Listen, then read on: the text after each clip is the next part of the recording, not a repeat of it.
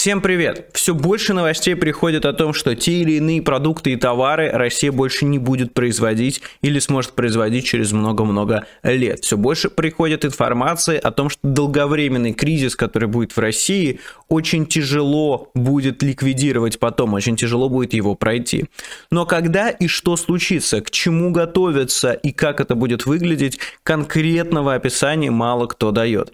Поэтому я решил поговорить с экономистом Олегом Ицхо Хоки. Это сейчас один из самых уважаемых экономистов, недавно получивший престижную премию. Мы обсудили с ним, как этот режим использует экономические ресурсы, когда стоит ожидать реального кризиса и как долго он будет продолжаться. Подробнейший разговор с очень интересным специалистом а вы увидите прямо сейчас. Не забывайте только поставить лайк, подписаться на канал, написать комментарий. Это помогает продвигать эти видеоролики, помогает показывать людям, в том числе, чего им будет стоить эта война. И, возможно, эти люди задумаются и перестанут ее поддерживать.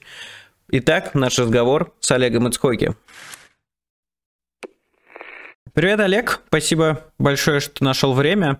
Э, скажи, пожалуйста, я наблюдаю удивительную ситуацию. Ну, то есть она заключается в следующем. А, значит, когда э, все только начиналось, когда начиналась эта война, начинались санкции, было довольно много и э, ожиданий по этому поводу, и даже паники, я бы сказал, и много чего еще. При том, что фактически происходило мало чего, ну, то есть в моменте.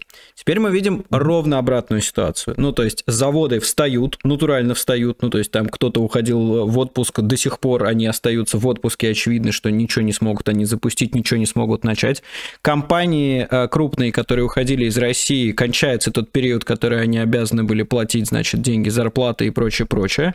Э, цены э, растут в, ну там, значит, в, как это там, в процентах инфляции в, в день и в неделю, может быть, не таким образом, как это было раньше, но на ряд продуктов цены мы видим, что уже серьезно выросли. А при этом, как бы, по этому поводу особо нет э, каких-то волнений, возмущений и всего прочего, и люди как будто бы, а, значит, э, не знаю, э, либо там не понимают изменений, либо не замечают. Расскажи, пожалуйста, в принципе, насколько что-то происходит по вот твоим наблюдениям и в чем это выражается, то есть в чем мы можем это отследить вот на данном этапе, а потом поговорим немножко про будущее. Ну, смотри, на самом деле как я это вижу из данных. И всегда то, что ты видишь из данных, может отличаться от впечатлений, которые есть у людей, которые непосредственно живут, ходят в магазины, видят, какие продукты есть, какие цены растут. Но то, что мы видим из данных, что инфляция была порядка 20%, а, то есть цены выросли очень сильно. Это, так сказать, в, опять же, в мирное время цены так не растут. А, это связано именно с нехваткой каких-то товаров. А, это может как отражать а, тот факт, что уже какие-то производственные цепочки начинают давать сбой, так и тот факт, что просто есть панический спрос на какие-то товары, и из-за этого растут цены. Но это не монетарная инфляция, это, так сказать, не инфляция отпечатания денег, ее мы еще пока не наблюдаем. То есть это, это одна вещь, которую мы наблюдали. Дальше, когда мы смотрим на данные, которые, а, ну, например, анализирует МВФ, то действительно оказалось, что российская экономика а, она оказалась более прочная вот к текущему кризису.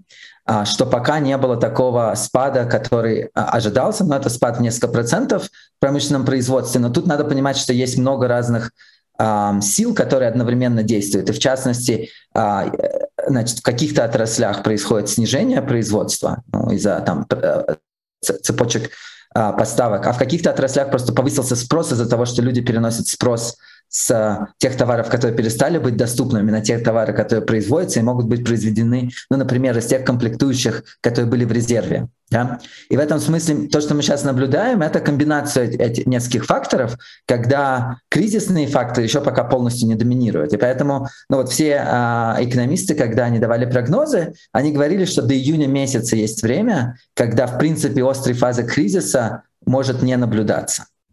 А, вот. Но вторую вещь, которую я здесь хотел сказать, это то, что эм, экономисты немножко думают об этом по-другому. Они не, не смотрят на то, что происходит сейчас, э, они скорее думают о том, как будет выглядеть а, ну вот, равновесие впоследствии, когда шоки произойдут, и мы пытаемся построить прогноз, исходя из того, из той точки, в которую экономика будет идти. Да? И вот а, что менялось за последние два с половиной месяца здесь, это а, возможные сценарии событий. Да? То есть, например, месяц назад был сценарий переговоров еще, когда в Турции, по-моему, да, были переговоры. Был такой сценарий, что о чем-то договариваются, договариваются начать снижать санкции. И, значит, вот был такой сценарий выхода из ну, такого полномасштабного кризиса, и там попытка восстановления экономики. Да? Такого сценария сейчас больше нет. Из тех новостей, которые мы видим, а, значит, ну вот есть вопросы, а, насколько военными силами удастся удержать территорию российским войскам, но нет вопросов относительно политического решения удерживать территорию. Да? И в этом смысле сценарий, когда война может закончиться быстро переговорами и потом будут переговоры о снятии санкций. Такого сценария просто он перестал существовать. А, поэтому мы перешли к сценарию, когда вот война продолжается в том или ином виде, она никогда не заканчивается. Есть какие-то, может быть, а, она может становиться позиционной войной, есть какие-то подвижки на, а, там, на, фронте, но с точки зрения переговоров а, война не заканчивается, санкции никуда не уходят, и мы переходим в режим вот таких долгосрочных санкций. И это такой медианный сценарий сейчас, который мы всегда анализируем. Очевидно, что есть, а, а, ну, там, внутри этого медианного сценария есть сценарий неблагоприятные, сильно неблагоприятные и относительно неблагоприятные. Да? Вот. И, ну вот, можно фокусироваться на относительно неблагоприятном сценарии, как, как, как он выглядит. Да? Как все условно То есть относительно говоря, неблагоприятный сценарий это лучше ну, с точки зрения там, э, тех, кто в, там, руководит российским государством, да, это лучше с точки зрения экономики. Ну вот когда говорят слово структурная перестройка, да, а, я, я правильно его произношу, а, по-моему, так они говорят, структурная перестройка, то это вот относительно неблагоприятный сценарий, когда экономика переходит в новый режим функционирования. И мы можем анализировать, как этот новый режим функционирования выглядит. Да? И где есть абсолютный консенсус, тут есть, так сказать, а, а, консенсус и а, официально государственных прогнозов, и там частные инвестиционные банки дают такие прогнозы, и МВФ, в принципе, с ними соглашается, что, ну, вероятно, это спад на 10% в 2022 году. Да? Вот, и мы отталкиваемся от этого. Да? Этого спада пока не наблюдается. Но дальше э, как бы весь анализ этого перехода, он показывает, что сложности будут по нескольким направлениям. И вот это то, что с каждым месяцем будет накапливаться, мы будем это просто кумулятивно, так сказать, наблюдать. А, и вот если мы будем сравнивать, там, скажем, я не знаю, август или сентябрь по сравнению с февралем, то это будет видно очевидно. А с точки зрения одной недели а, к другой неделе изменения не такие большие. То есть это такие кумулятивно накапливающиеся изменения. И вот речь идет здесь о том, что, во-первых, а, действительно будут нарастать проблемы с цепочками поставок, это одна часть структурной перестройки. А с другой стороны, а, ну, судя по всему, избежать безработицы не получится в результате такого кризиса. Да? И вот безработица — это то, чего в российской экономике, в принципе, никогда не было. Даже в там, кризисе 2008-2009 года, а, когда упали цены на нефть там, в 2014-2015 году, сильного роста безработицы не было в российской экономике. Было падение доходов, но вот а, безработица это такое, вероятно, будет новое событие, его сложно прогнозировать из-за этого. Но вот ровно как ты сказал, а, тот факт, что рабочие места будут закрываться, особенно в сфере услуг, особенно в маленьких предприятиях, а, избежать этого, кажется, невозможно. И это то, что будет вот происходить три месяца после начала кризиса. Примерно все экономисты прогнозируют июнь, соответственно, как начало этого. Угу. Это относительно благоприятное, ты описал, развитие событий. А как выглядит, э, ну, там, драматический сценарий? Э, и ты знаешь, э, ну, давай сначала со сценарием, а потом я задам главный вопрос в этом контексте. Да, ну, когда я говорю про сценарий, это не то, что, э, значит, насколько успешно будет проходить структурная перестройка, это скорее про внешние силы речь идет. Ну, например, самый главный вопрос — это будет ли эмбарго на нефть в ближайшие месяцы или там, даже недели, или оно будет в конце 2022 года. А в зависимости от этого тайминга будут, соответственно, а, а, это влияет на тайминг проблем бюджетного дефицита. А, бюджетный дефицит, скорее всего, приведет к инфляции. Да? То есть он может привести к невыплатам, но гораздо проще, судя по всему, для правительства будет его а, монетизировать. Поэтому пока нет бюджетного дефицита, это относительно неблагоприятный вариант. Когда появляется острый бюджетный дефицит, это сильно неблагоприятный вариант. Это все вот зависит от экспорта энергоносителей. Во-первых, что решит Европа, как быстро эти санкции накладывать дальше. А второе, насколько можно будет успешно продавать это куда-то в другие страны, с какими скидками, в каких количествах, насколько сильны будут вторичные санкции на, например, транспортировку. Да, это все вот такие неизвестные. Если действительно санкции будут серьезные и э, вторичные санкции будут серьезные, то это приведет к острому бюджетному дефициту, и тогда это уже будет сильно неблагоприятный сценарий. Второй вопрос связан с тем, насколько кооперироваться будет Китай. И из того, что, ну, во-первых, в Китае сейчас происходит сильная рецессия, связанная с первой волной ковида. Вот они оттягивали первую волну ковида. Сейчас в Китае настоящая первая волна. А, они не приняли решение, как а, еще с ней бороться. У них до сих пор был такой а, план, который назывался нулевой ковид. А, похоже, это больше невозможно. И вот они сейчас принимают решение, и они полностью отвлечены на а, значит, ну, внутренние проблемы, связанные с этой рецессией. А, я не знаю, принято ли там а, принципиальное решение помогать или не помогать России. И то, что мы сейчас знаем из информации, что, конечно, эта война в тех масштабах, в тех масштабах, в которые начал Путин, это был абсолютный шок. В Китае это восприняли как некоторое действие нерационального, а, там, импульсивного контрагента, с которым никто не, не хочет в таких условиях иметь дело. Но есть другие политические соображения, что есть противостояние а, США в Китае, и вот они как бы должны а, принимать это решение. Но, значит, а, а, обложка на а, где а, Си Цзиньпин должен принимать решение пожимать ему руку Путину или нет, это, она хорошо это показывает, что это такое для них будет неочевидное решение, и пока мы не видим, что там будет происходить. И вот если Китай не будет очень активно сотрудничать с Россией, это второй источник ну, более неблагоприятного сценария. Вот, это, это тоже большая неизвестная на ближайший год. Да, дальше включаются уже не экономические вопросы, такие, насколько а, там, а, насколько будут сильные протесты против того, что происходит, насколько придется включать репрессии и так далее. И если э, э, это уже самые неприятные сценарии с точки зрения людей в России, естественно, а, и а, значит, как это будет э, в свою очередь влиять на экономику. То есть и тут такой замкнутый круг. Если с экономикой все плохо, люди начинают противостоять, сопротивляться этому, придется, видимо, включать репрессии, и с экономикой все становится еще хуже из-за этого. Вот так, Ты так говоришь, это... включать репрессии, как будто они были выключены, но понятно, что имеется в виду. Они что пока масштаб, что не имели да. массового характера. И кажется, что самое страшное а, это, конечно, массовые репрессии, которых в России все-таки еще не было. И из того, что мы видим, как ведется война на Украине, нет никаких сомнений, что ценность человеческой жизни, она не очень высока. В этом смысле а, это дает плохой нам сигнал. Но с другой стороны, есть сигнал, когда просто государ... Есть еще сценарий, когда просто текущее государство разваливается, у него нет ресурсов для проведения этих репрессий. Я считаю, что это как раз самый оптимистический сценарий, потому что когда мы говорим о а, вот этих вот других а, условно а, консервативно отрицательных. Это то, что может длиться годами и десятилетиями. Uh-huh. И в этом смысле очень сложно сравнивать а, ситуацию ну, довольно-таки острого политического кризиса сейчас и потом попытки экономического восстановления страны с ситуацией, когда экономический кризис может быть на 20-30 на лет. Ну, условно говоря, такой смесь иранско-советско-северокорейского варианта. Мы не знаем, как бы, на что это будет больше похоже. Но это, это на самом деле как бы не остро, но очень страшно, потому что это длится десятилетиями, и значит, Россия выйдет из этого когда-то, неизвестно когда, и неизвестно а, совершенно с каким отставанием от остального мира. При этом не только для самой России, ну и для ее граждан, да, драматически, но и для остального мира, потому что покуда Путин остается у власти, угроза никуда не девается. Ну, то есть большое количество людей, которых можно там мобилизовать или послать в бой, или ядерный арсенал, или что-то такое, явно не будут э, там благоприятно влиять на остальные страны, они все равно будут этого опасаться, и в связи с этим немножко предвосхитил ты мой вопрос, но тем не менее я бы хотел, чтобы мы поподробнее на этом остановились у многих появляется вопрос, насколько вот те экономические вещи, о которых мы говорим, могут конвертироваться в условное падение режима. То есть понятно, что мы не пытаемся гадать и предсказывать, э, хотелось бы, но это довольно бесполезное занятие,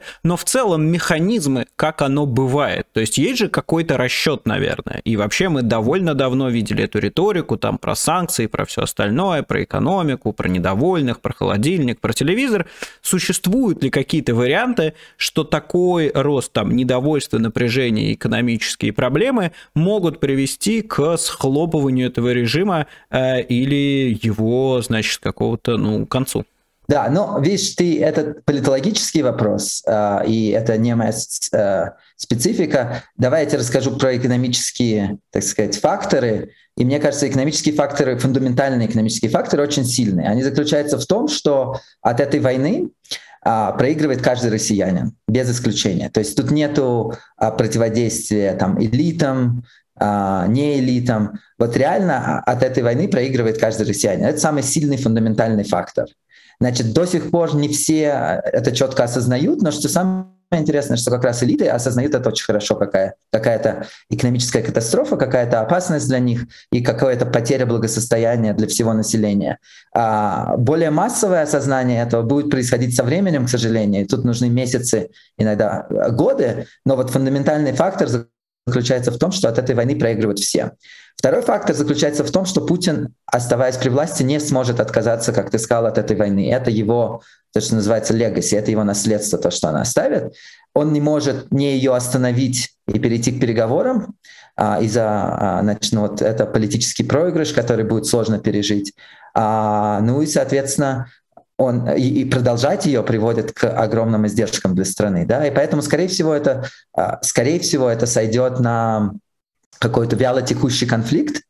И вот когда ты сказал относительно остального мира, то остальной мир на самом деле на, на время, мне кажется, а, решил а, не пытаться что-то делать в России. Это слишком, слишком дорого, ну, с, точки зрения риска. Не пытаться помогать... делать в каком смысле? А, ну, с точки попытки изменения режима, например, mm-hmm. да, то есть помогать, помогать россиянам, остальной мир не будет. Он оставит это, то есть он, он будет, когда произойдут политические изменения, но до этого цели ставить, чтобы вот выручать из этой ситуации людей, которые живут в России, у остального мира такой задачи нету. То есть цель изоляция, ну, то есть просто да, максимальное да, отрезание да, всех возможностей. Да. да, насколько я это понимаю, что решили, что путь наименьшего сопротивления это не только изоляция, но и истощение. Вот это очень важно. И в этом смысле, когда ты говоришь, Россия остается угрозой, но вот, э, значит, это должна быть изоляция плюс истощение, чтобы минимизировать эту угрозу, да. И в этом смысле, значит, силами украинской армии происходит истощение армии российской, а финансовые санкции собирают э, ресурсы финансовые, и поэтому ну, вот идея такая, что это может быть на десятилетия история, когда у России просто не будет ни финансовых, ни военных ресурсов после этой войны, а начинать какие-то другие э, авантюры. Вот. И в этом смысле для остального мира, да, это, это, это неблагоприятный исход.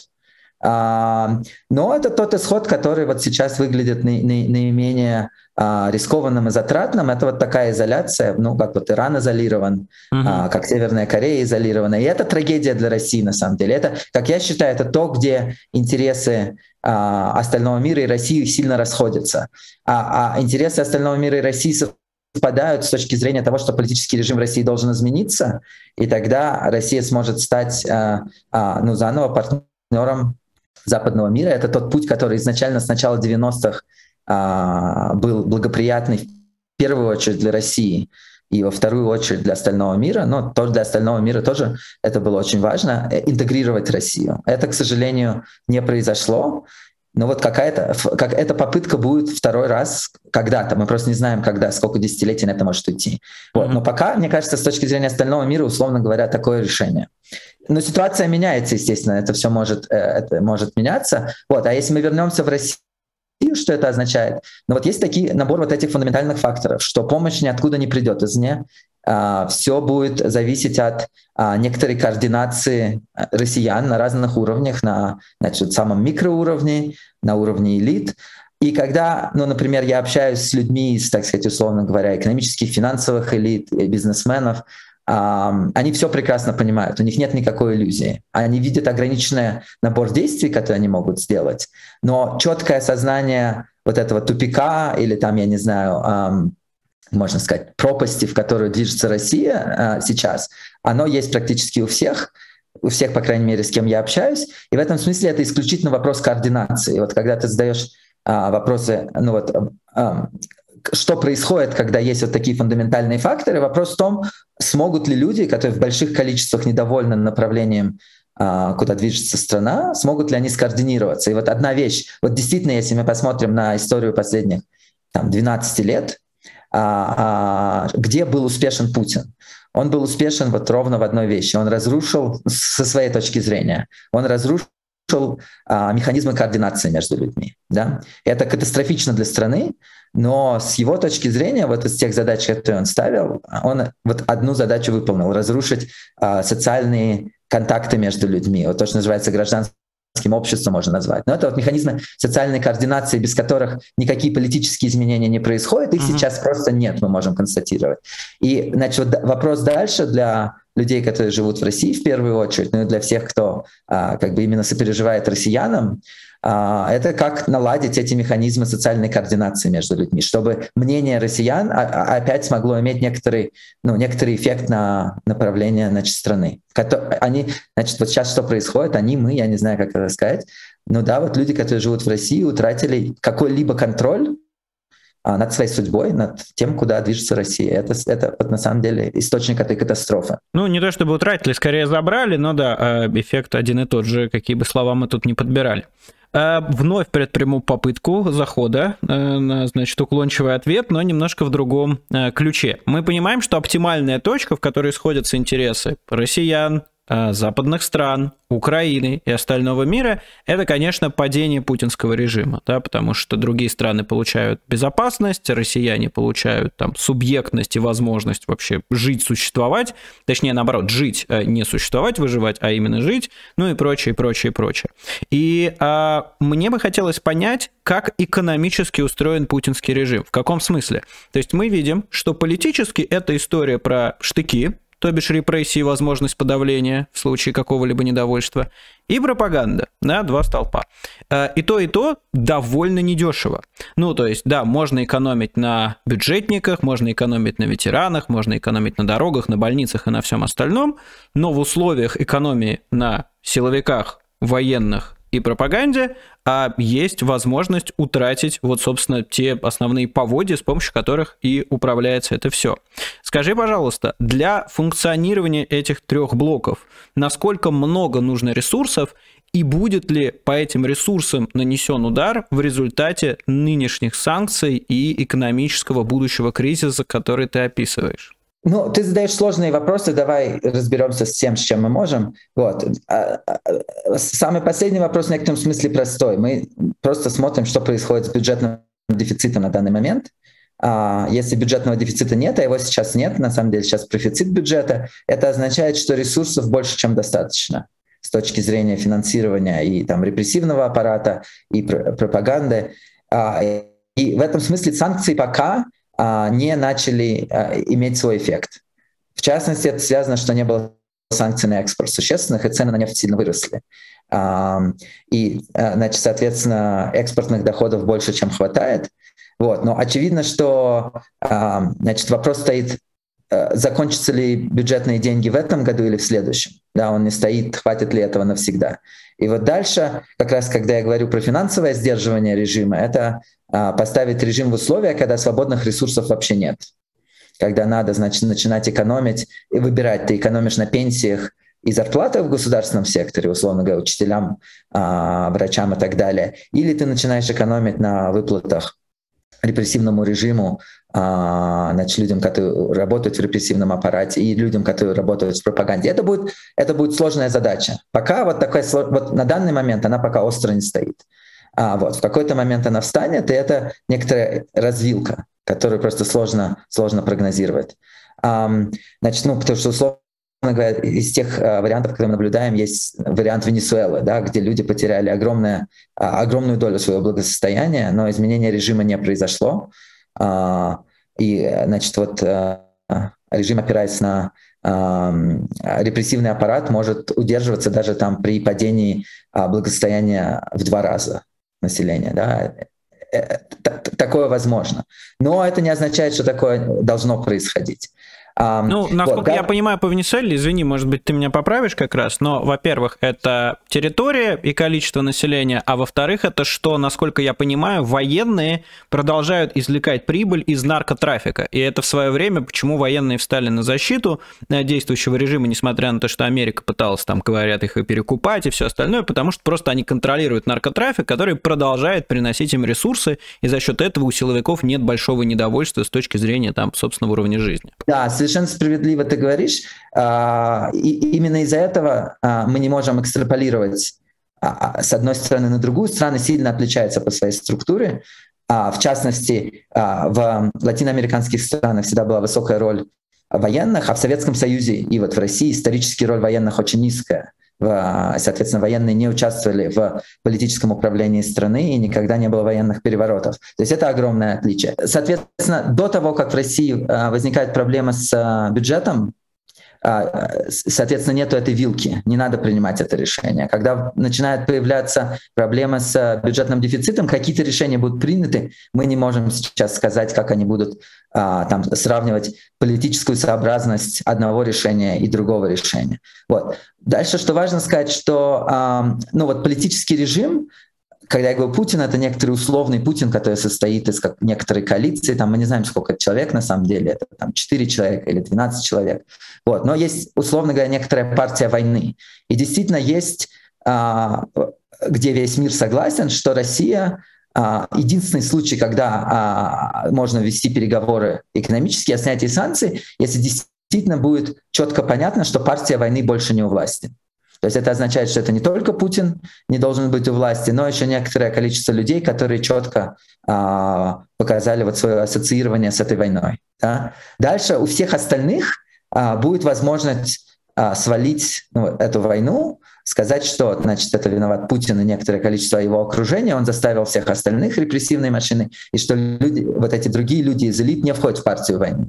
Это действительно здесь, где есть некоторые, а, некоторые согласия между всеми а, агентами, кроме небольшой группы людей, вот, находящихся сейчас в Кремле. Да? Дальше для России, что принципиально важно, это, конечно, изменение режима на режим другого типа. И вот гарантии этого совершенно нет. То есть, может, партия войны может уйти, но режим может принципиально не измениться, и он может принципиально также полагаться на репрессии и пропаганду. С точки зрения а, россиян, конечно, принципиальная задача — это изменение а, качества этого режима чтобы этот режим некоторый, в какой-то степени стал репрезентативным, чтобы он как-то отражал а, а, желание а, людей, населения стране. И это, э, эти изменения, люди перестали иметь вот этот вот эффект на принятие решений. И э, тем, кто живет в России, необходимо вернуть э, свою возможность, как ты сказал, субъектность. Да? И это совершенно другая задача. Это задача другого уровня, чем а, отказ от партии, э, от партии войны. Вот, ее придется решать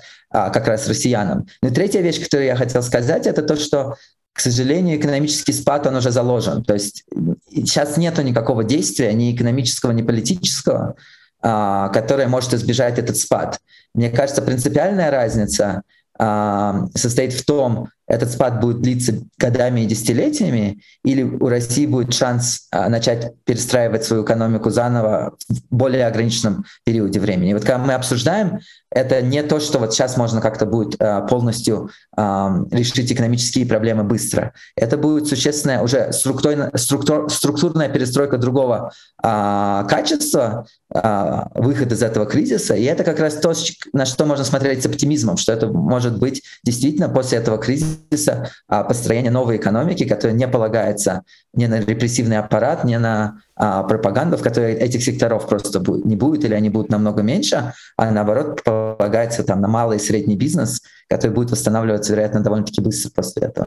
Ну, в этом смысле нам Путин немножко помог, э, в том смысле, что российская экономика последние много лет а имеет в себе очень большую коррупционную составляющую, и сам факт отказа от этой коррупционной составляющей окажется, что деньги там намного эффективнее расходуются и все остальное, и вот этот вот спад экономический, да, который будет в абсолютных показателях, возможно, э, в относительных для человека, там, условно говоря, качество дорог в худшую сторону вряд ли изменится, потому что убирая коррупционный налог, мы сможем э, смотреть возрождение, но это мы забегаем сильно вперед, у нас пока идет но, война. Я просто добавлю здесь, что а, вот это а, получение некоторой репрезентативности российским населением, влияния на политику, оно должно тоже быть сопряжено, конечно, с изменением коррупционной структуры экономики, и это, конечно, будет большой толчок а, для экономического роста. В этом смысле хорошую, хороший пример — это Восточная Европа, как развивалась Восточная Европа последние 30 лет.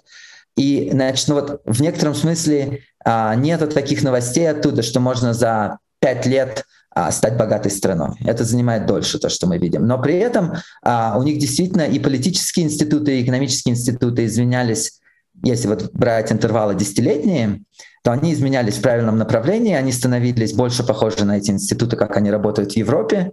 А, и то, что мы видим, это сопровождалось вот на горизонтах таких уже 20 лет, мы видим, с каким экономическим ростом это сопровождалось. Многие люди сильно удивляются, но вот Румыния уже три примерно года назад обогнала Россию по среднему ВВП на душу населения. Но что тут надо понимать, что Румыния, э, значит, если сравнивать э, Бухарест и Москву, то может показать, что Москва живет намного богаче.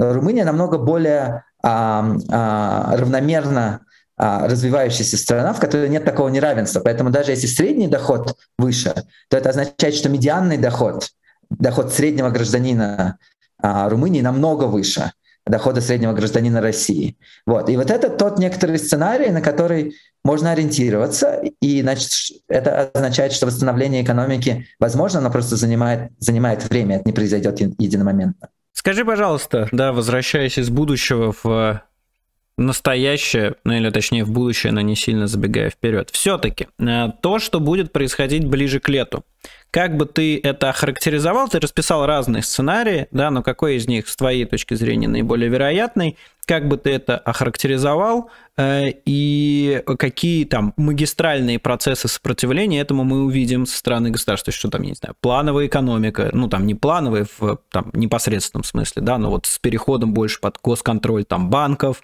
э, значит, э, предприятий, импортозамещение и все на свете. В общем, расскажи, как ты видишь ближайшее будущее, которое ждет Россию, вот эти вот все академические вещи, которые ты описал, в более там простом преломлении, с чем столкнутся жители Э, России, в том числе те, которые аполитичны и не особо там, значит, даже следят а. за всем происходящим.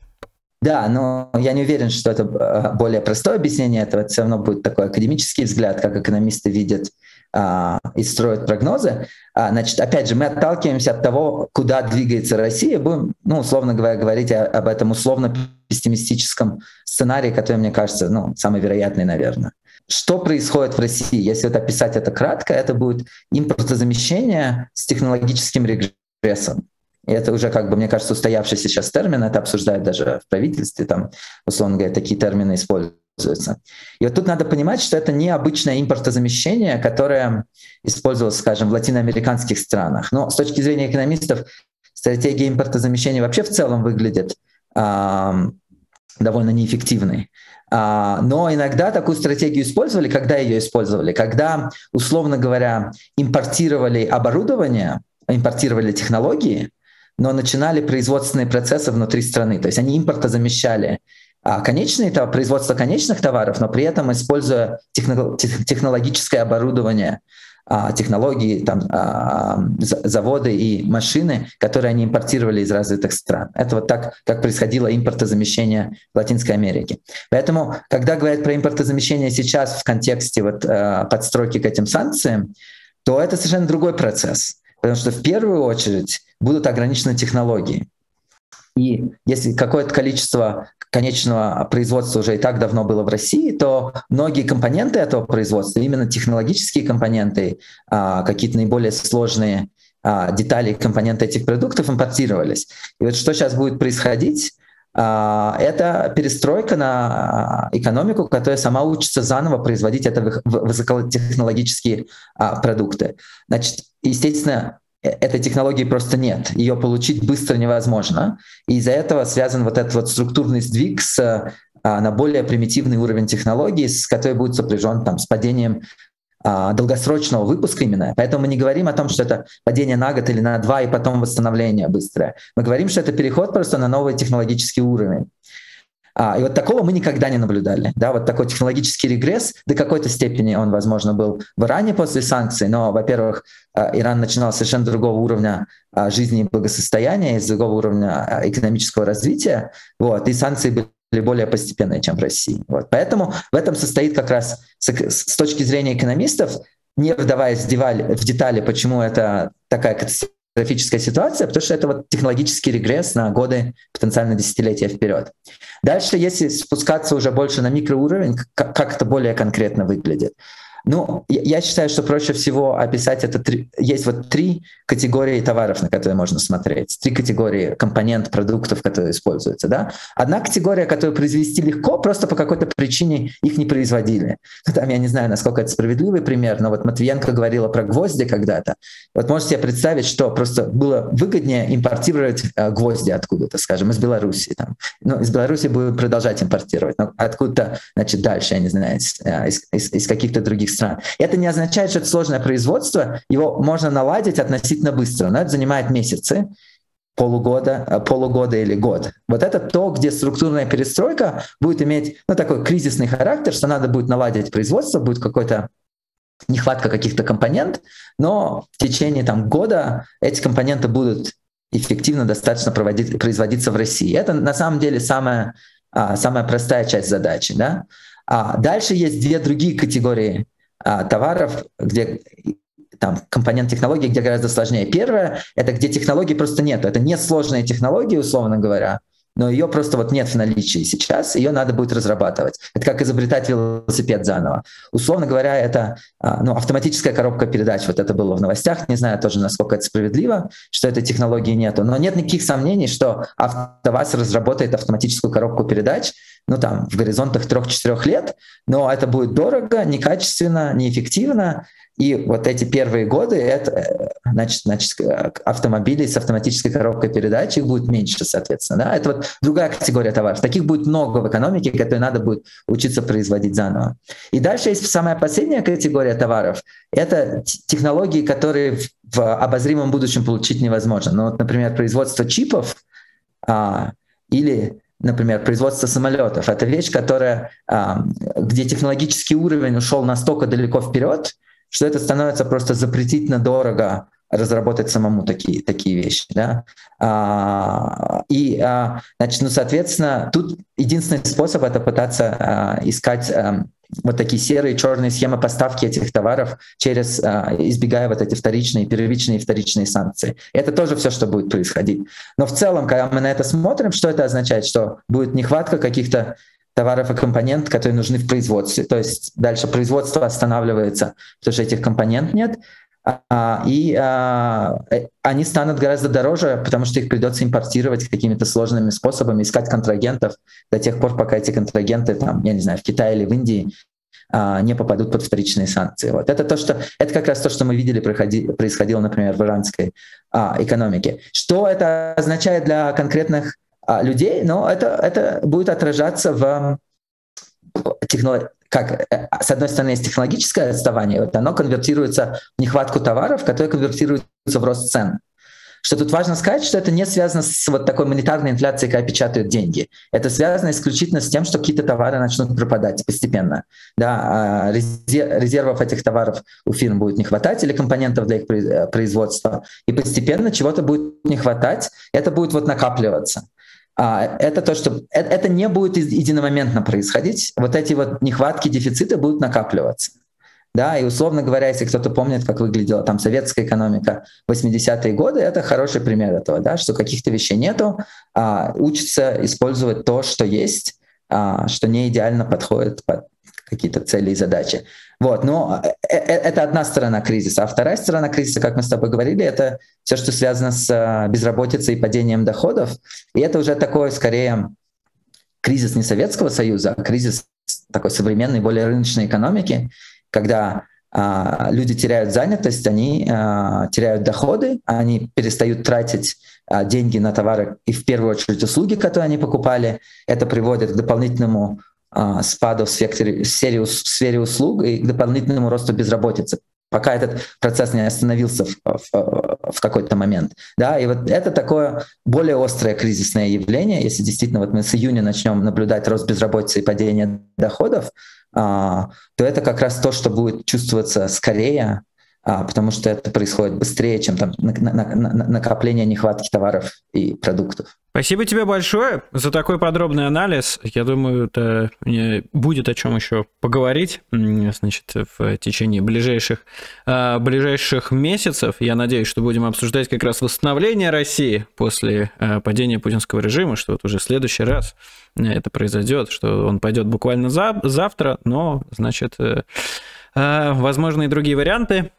Я тоже очень на это надеюсь, как я это вижу, это единственный сценарий, который можно назвать условно оптимистическим. Все остальные в моей категории попадают в э, категорию э, э, пессимистических сценариев с разной степенью кризисности. Плохих и очень плохих, да. Спасибо большое.